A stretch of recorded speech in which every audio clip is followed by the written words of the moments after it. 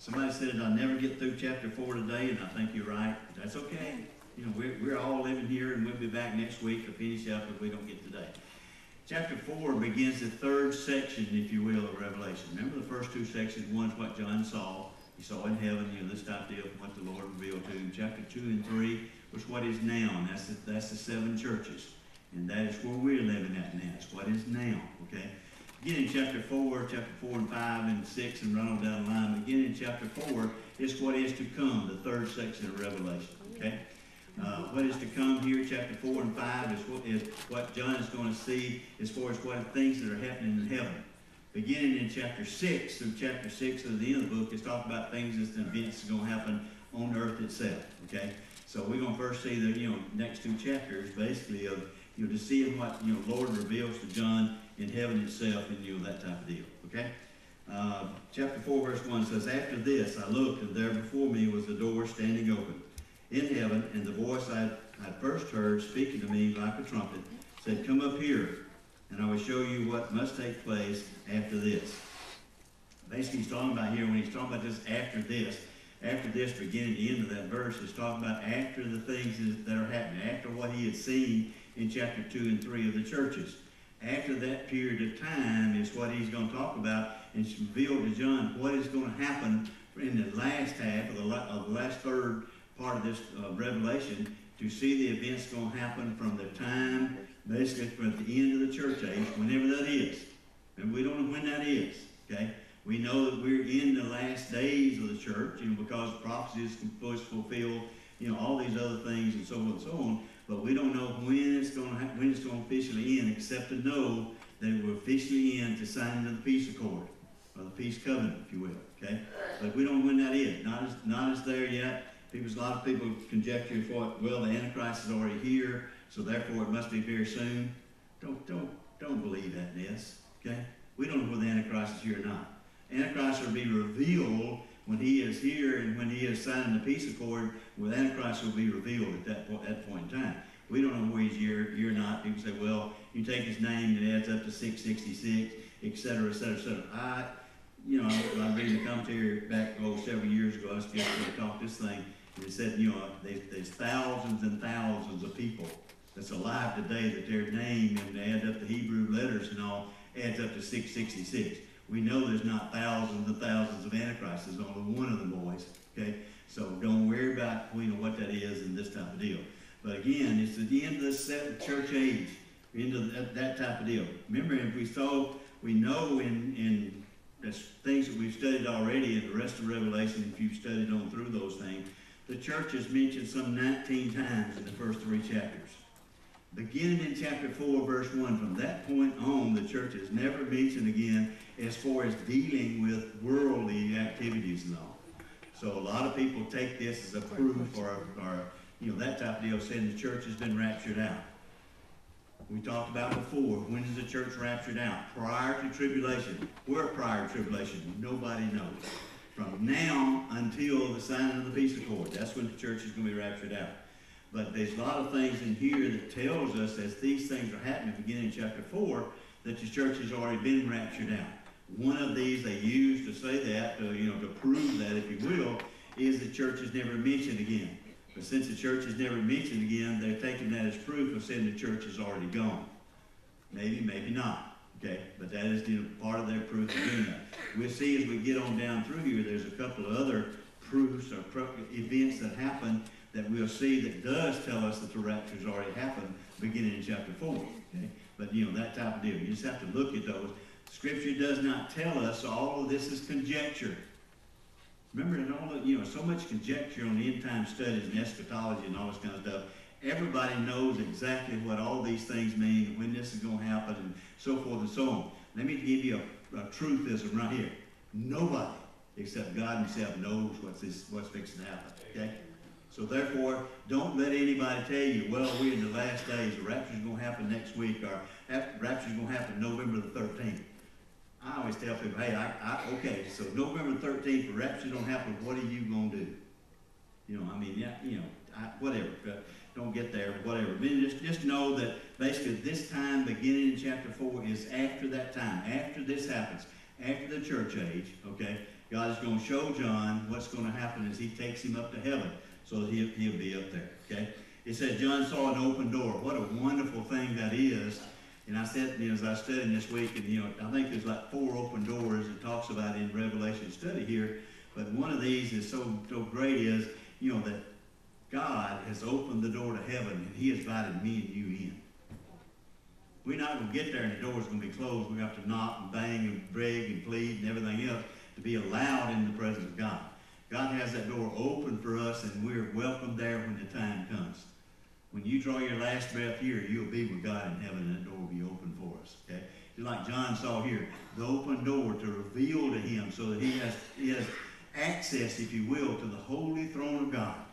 And that's what you and I, because of our salvation, we have access to that. Just like John had access here in his, his spirit and in things that he did. It says, I told him to come up there. It basically means here, and you see this in the next verse, talks about this is a spiritual movement. This is John is taken up in the spirit, not in the body. John's body is still, still is sitting on Patmos when he's getting all these things, okay? But he is taken up spiritually to see and be in the presence of God so that, you know, he can write these things and put them down for us, okay? Verse 2 says, uh, At once I was in the Spirit. Here's where it tells me he's in the Spirit and not actually gone up physically, you know, and raptured out of here with body and soul and this type of thing, okay? At once I was in the Spirit, and there before me was a throne in heaven with someone sitting on it. I, I just can't imagine going in the presence of God and seeing this throne sitting there, and guess who's sitting on the throne? God the Father is sitting on the throne. What a marvelous thing. What a time of joy. What a time of, you know, just that, you know, God is allowing us to be in his presence. Okay? But John is in there and he is walking, going through the door and he's seeing, seeing God the Father sitting on the throne in heaven. Okay? Verse 3 says, And the one who sat there had the appearance of jasper and cornelian, a rainbow resembling an emerald encircled the throne. Basically, he's talking about here is just basically the brilliance of God. Remember, no, Scripture tells us, you know, nobody can see God. Nobody can be there and see God without dying, you know, this type of deal. So nobody's allowed to see God, but they can see the brilliance of God. They can see the beauty of God. Okay? If you, he mentioned here a couple of, you know, you know, stone talks about jasper. Jasper is like a, like a diamond, clear and beautiful. Okay? Uh, the cornelia is basically a ruby red, you know, type deal. So these things show the beauty of God in this in the beauty of, of colors, if you will. That you and I can understand and know that God's brilliance is vibrant to us. These also, these two stones mentioned, the cornelia was the first first stone on the breastplate of the high, high priest. The jasper was the last stone on the breastplate of the high priest. So these things show that know, throughout Scripture, these are used in worship to God. Just like the, the breastplate of the high priest was very much part of the worship of God, and these stones were represented on those things. Okay? It says uh, a rainbow resembling emerald. Emerald is green. So we have the green beauty surrounding the throne. But all these things just show us the, the, the majesty of God himself. Even though we can't see him as a person or whatever else, we can experience him. We can experience him in nature if you say enough, if nothing else. We can experience him in the things that we see that God reveals to us each and every day. I hear a lot of people say, well, the Lord spoke to me today. Yeah, okay. I have no problem with that because I don't know, you know, Scripture doesn't tell me, you know, the Lord, the Lord won't speak to you, you know, that type of deal. I know for me, I've, I've experienced God speaking to me in my thoughts and in my spirit, but the Lord has never come down and said, Marv. Because the day he says that, I ain't going to be here the next day. I'm going to be died right at that one point, okay? I won't be back, okay? You know, but I mean, it, can God do that? Absolutely. He could, okay? But God speaks to us through the things that he provides for us. He speaks to us through the joy that we have every day in living for him. He speaks to us in, I always say our grandkids, because he don't speak to us through our kids sometimes, you know, we have a lot of problems with them suckers, you know, type deal. But anyway, but through our grandkids, he speaks to us through nature, through through sunset. Carol and I many times sit in the afternoon and look out our, our windows in front of our house, which faces to the west, and I'm sitting there going, if you can't see God right there, you're blind. Absolutely. Unbelievable. The beauty of God himself in creation. Okay? But anyway, so here he's talking about, you know, that, that he is there in, in the presence of God and brilliance of God is what we see in basically in chapter in verse three. Verse four says, surrounding the throne were twenty-four other thrones, and seated on them were twenty-four elders. They were dressed in white and had crowns of gold on their heads. Here is where we talk and start talking about, you know, those things and those proofs, if you will, that talks about this, you know, that the church itself has been raptured out of here. One is it talks about the 24 thrones. It doesn't tell us in Scripture who is sitting on these 24 thrones. It says they got 24 thrones sitting there. That's there. Okay? These 24 thrones are sitting around the throne of God, and their whole purpose is to worship God in this type of deal, you know, for these people this year. These 24 thrones, many commentators or, you know, people that you're going to read and all says, well, they're representative of the 12 tribes of Israel in the Old Testament and the 12 apostles in the New Testament. Okay, 12 and 12 add up 24, so you might be right. I have no idea. Scripture doesn't tell me that, okay? It just says you have these 12 thrones, you know, around, around the throne here, around God's throne. It says also in there that they have these 12, these 24 elders sitting on them, okay?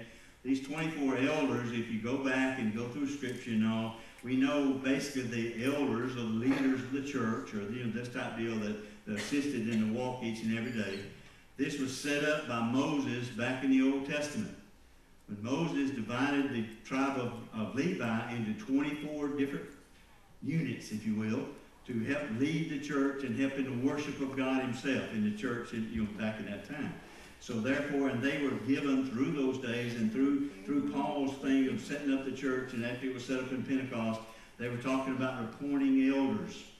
And these elders were to lead in worship and to lead in, in helping the people to become closer to God. So therefore, elder is a human word. You never see anywhere where elder is associated with an angel or divine being. Elder is always a human person, human being that he's talking about. So one of the reasons of, you know, saying that, you know, the, the, the church has already been raptured out because these people sitting here are elders of the church and they were a hu human being at some point in time. Okay? So therefore they've been raptured out and now they're sitting on the throne. Okay, maybe, maybe, maybe. Not, not, not as strong as the next two. The next two things it says here is much stronger as far as saying the church has been raptured out. The next thing that is talked about here said they're these elders are dressed in white. Throughout Scripture, when it talks about dressed in robes of white and all this kind of stuff, it's talking about salvation. It's talking about that this person has been saved and represents salvation that God has bestowed on them, salvation and forgiveness of their sin. Okay? Nowhere in Scripture is angels ever said to be dressed in white. But many times it says through there that, that, that many of us, many of the humans that have been raptured out here, is dressed in white, signifying we are in salvation and living in salvation and we have been taken out of here. Okay? So there, here is the first or another thing that proves or, you know, I guess leads to the point of thinking that the church has been raptured out because now we have these elders, one sitting on the throne, they're dressed in white, signifying salvation. Angels at this point in time, they have no sin. Now, did angels ever have sin? Yes. Back before creation and as those things, when Satan and those, those third of the angels in heaven sinned against God and they kicked them all out of heaven, they had sin in their life. That's why they're called demons. The ones that are left is left here, especially at this point in time where the church is being raptured out. They have they have no sin, never ever had any sin, so therefore they will never be dressed in white. Okay? Because they don't need salvation. The only thing that needs salvation is me and you. Okay? Because why? We have sin in our life and we need to be transformed from the old person to the new person because of what God can do for us. Okay? So therefore, he talks about, make sure I'm not, don't, not get ahead of himself, dressed in white. Now, go, crowns of gold on their heads. There's two, type, two types of crowns talked about in Scripture. There's the diadem crown and the Stephanos crown. Okay? The diadem crown is basically awarded or associated, basically, if you will, thank you for putting that up there. okay. The gold, the gold crown is talking about, basically, the diadem crown is, is talking about royalty or divine, or divine people. Okay? You and I will never have a diadem crown. Okay? You and I will have the Stephanos crown. The Stephanos crown basically set up for those overcomers, those that have overcome sin in their life. We know this by scripture, and we talked about back when, you know, we talked about the crown, the five different crowns is, that's associated with, you know, people when they come to heaven. Uh, we know that God will, will, at one point in time, and that is the judgment seat of Christ. You and I, as we go to heaven, as we come in the presence of God, when we stand before the judgment seat of Christ, our works is going to be judged. And our works is judged, those works that we do that's gold and silver and stand up, those things we do for Christ and the thing for Christ, stand up to test and we will be awarded a crown for them. Those things that we do that is not of Christ and not for the glory of God, those will be burned up like hay and stubble and wood and so on and so on. All of that will go away. Now, how many crowns you and I are going to get? Don't have any idea. You'll get at least one because of salvation. Will you get the other four or not? It's according to what you do and you know this type of deal. And God talks about in Scripture what those are so what those associated with, what you have to do in order to get those crowns. Do you worry about those crowns? Not me. I worry about what I do for God each and every day, and then if I get a crown, great. If I don't get a crown, who cares? Because we know that, you know, as we are judged, stand for the judgment seat of Christ, for those works that stand the test, we will be given a golden crown put on our head. Here he is saying these elders sitting on the throne is sitting there with golden crowns on their head. Because they're golden crowns and not diadem crowns, they have to be associated and rewarded and given to people because of standing for the judgment seat of Christ. So if these people already stood for the judgment seat of Christ, which will happen after the rapture, after the rapture, then we will be awarded those crowns. And those crowns, what is so wonderful about those, and we'll see them again as we get over about verse 9, 10, 11, which will be next week or with that type of deal. But as we get those crowns, we'll have them, God will, will award those to us, put them on our head, and then for the rest of eternity, I, I truly believe, I think Scripture tells that, rest of eternity, we're going to spend eternity taking them devils off and putting them before Christ himself as a, as a worship for him. And he talks about it even as we talk, we'll talk about next week. This is a continual thing. This is not a once and forever. We're not going to stand before the throne of God and take the crown off and lay it down and then we leave it there. Scripture talks about this like worshiping God is every day, every minute for eternity. Therefore, the crowns and laying of crowns before God and worship Him is same way as we'll be worshiping Him in truth and, and you know that type of deal around, around the throne of God. As we worship Him, we'll be constantly, I think, laying those crowns at His feet. In order to do that, we got to pick them up, put them back on, and lay them back down again. Okay. Now, whether or not you ever get them back on your head or not, I have no idea. But you're going to be continually laying these crowns before God Himself for worship of God. Okay, that type of deal. So because of those things, most people believe, most you know theologians and everything else believe that the church has been raptured out. We're no longer here because they, it's dressed in white. You have golden crowns on. You're called elders. On and on. Never mentioned again. So all those things that said, you know, basically as, as John saw here in the beginning of chapter four, the rapture's already happened. Now, you want to argue that back and forth? No. Scripture never tells you the beginning chapter 4, Revelation, the rapture's already happened. So if the scripture doesn't say that, you're guessing. Okay? We can take things and try to try to prove these things because we know these things happen because of where we are and the things that's happening around us and things that lead to those things.